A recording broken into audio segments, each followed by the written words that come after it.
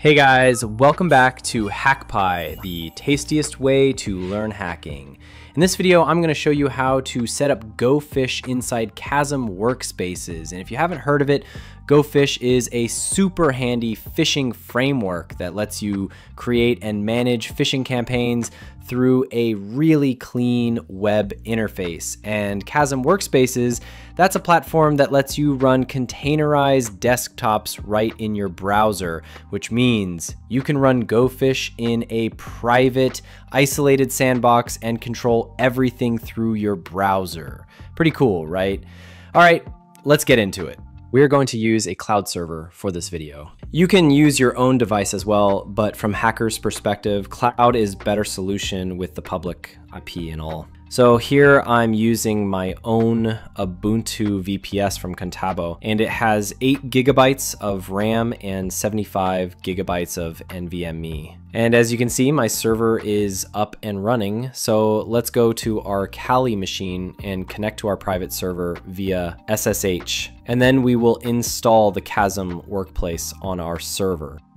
And guys, don't worry about the IP and the ports I'm exposing here.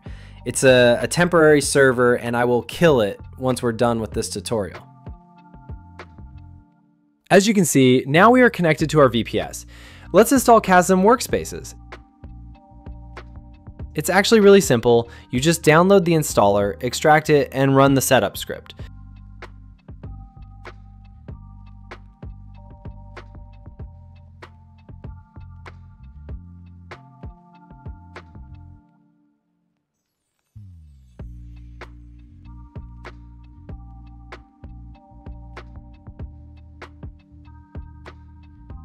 Once it's done, Chasm will give you a set of default login details right in the terminal. Don't forget to save those, you'll need them to log in. After that, just open your browser and go to the local address it gives you. You should see the Chasm login page ready to go.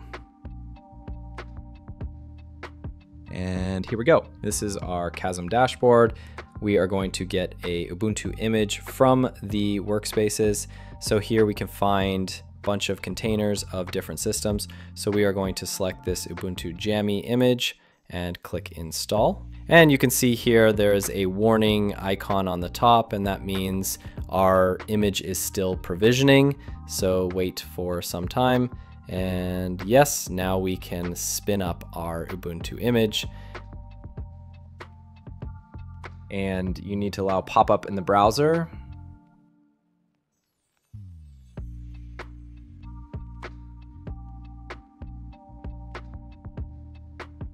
And yeah, now we have our secured Ubuntu VM inside our cloud server using Chasm Workspace. Now let's install GoFish inside a Chasm container. Since there's no official GoFish image for Chasm, we'll build our own, but don't worry, it's super easy. Once that's up and running, open a terminal inside the container and grab the latest GoFish release from their GitHub.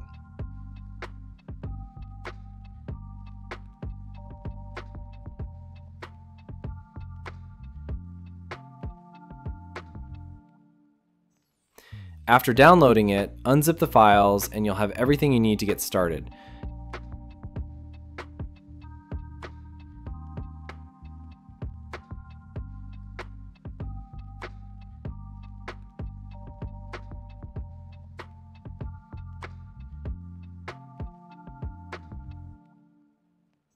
And by default, GoFish only listens on 127.0.0.1 not 0.0.0.0.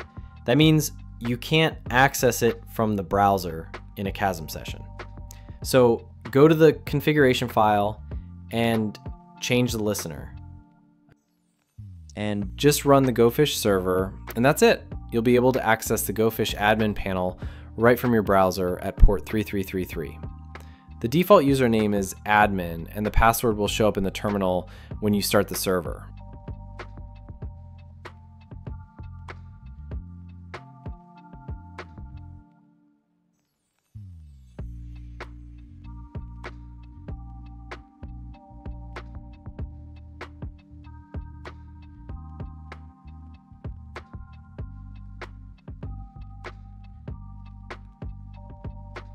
Now here's the cool part. Once GoFish is up and running, you can save this session as a custom image in Chasm. Head over to the admin section, find your running Ubuntu session, and click Create Image. Once the image is created, go to the Workspaces tab, find the new image, and click Edit. Here, you can set it up so that GoFish starts automatically every time you launch a session. All you need to do is add a simple command in the Docker configuration. It tells Chasm to run the GoFish binary as soon as the container starts. Save your changes, and that's it. From now on, whenever you start this custom image, GoFish will launch automatically and be ready to use.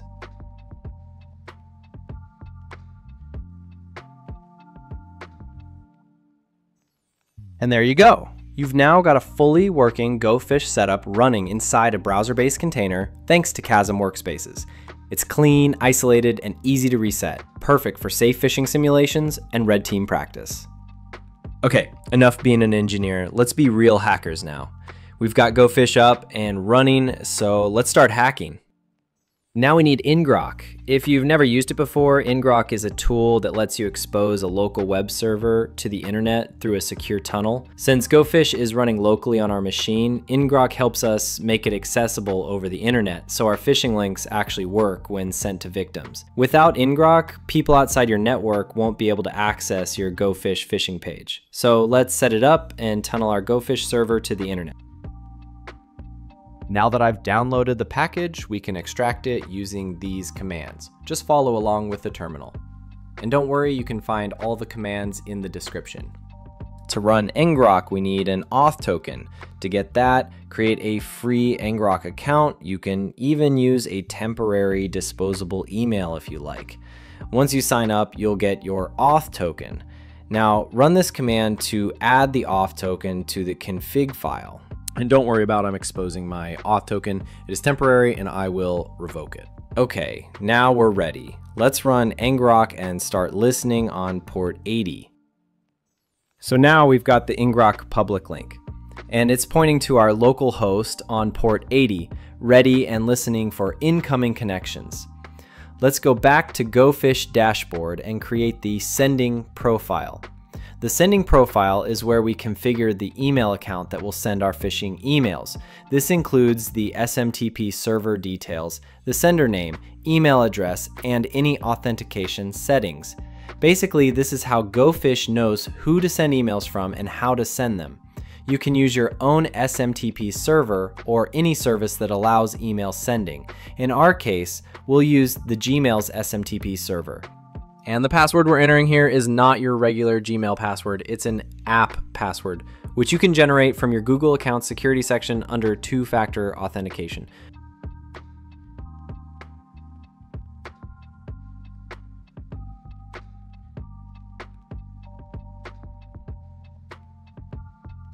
For this demo, I'm using this simple email setup, but in real world attacks, hackers usually use spoofed email addresses, ones that look almost identical to legitimate ones. And in the next video, I will show you how exactly we can spoof the emails and do the phishing. So keep supporting guys, don't forget to like and subscribe. In the SMTP from field, we're gonna name it Instagram security and then place the actual email address inside angled brackets like this. This way, when the user receives the email, they'll see Instagram security as the sender name, not the actual email address, unless they expand the details. All right, now save the profile and let's create the email template. The email template is what the victim will actually see in their inbox. It's the body of the phishing email, including text, links, and HTML formatting.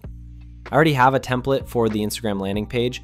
Go to this repository and copy the raw HTML code. Then go back to the GoFish dashboard and click Create New Template. We're going to name it Instagram Alert, leave the envelope sender as default, and paste the HTML code into the editor. If you click on source, you'll see the rendered version of the email. And as you can see, we're replicating the exact look of a real Instagram alert. The code will automatically pull in the recipient's name from the user list, making it feel personalized. The most important part is the link. When the user clicks it, they'll be redirected to our ngrok phishing page, not the real Instagram site. Now let's write a suitable and urgent subject line that fits our phishing context and grabs the user's attention. For example, we could say something like, urgent action required, suspicious login activity on your Instagram account, and click Save Template. Now that we have the alert ready to send via email, we need a landing page that looks exactly like the official Instagram login page. To do that, go to Instagram in your browser, right click, and select Inspect Element. Then find the main login section, right click the code, and choose Edit as HTML. Copy the entire HTML code, make a few tweaks to suit our phishing setup, like modifying the form action to point to our server. Now go back to the GoFish dashboard, click Create New Landing Page, and name it something like Instagram Login. Paste the HTML code into the editor. Make sure to check the boxes for capture submitted data and capture passwords. These are critical. For the redirect URL, we'll enter the actual Instagram URL. This way, after the user submits their credentials, they'll be redirected to the real Instagram site, making the attack look seamless and less suspicious. Then just click Save Page, and we're done. Now we have everything in place to run the phishing campaign. Technically, we're ready. Next, let's define the target. To do that, go to the Users and Groups section in the GoFish dashboard. Click Create New Group, give it a name like Instagram Targets, and add the target details, such as the name and email address of the victim. Once you've filled in the info, click Save OK. Now we've reached the final step. Let's create the campaign. Give it a name like Instagram Alert, then select the email template and landing page we created earlier. Now, the most crucial part, the URL. This is what makes the phishing attack work. Go to your terminal, copy the public URL that ngrok provided, and paste it into the URL field. Next, choose the sending profile we created, and finally, select the target group. Once everything is set, click Launch Campaign and we're live. In the campaign dashboard, you can see the results, whether the email was sent successfully, whether it was opened, if the user clicked the link, and if they submitted any data. We can also confirm this from the status section. Now that our link has been sent to the target user, let's go ahead and check the inbox to see how the email looks. All right, as you can see, we were able to send the email to the target's inbox without any restrictions. Also, notice how we successfully hid the actual email address. It appears exactly like it's coming from Instagram security. You can only see the actual email address if you expand the sender details, but trust me, most people never check that. They just panic and click the link. So now the user sees this email, gets nervous, and clicks the reset link. Now imagine this could be your bank account, your YouTube channel, or anything else important. The real target here isn't just the system, it's the human. That's the power of social engineering.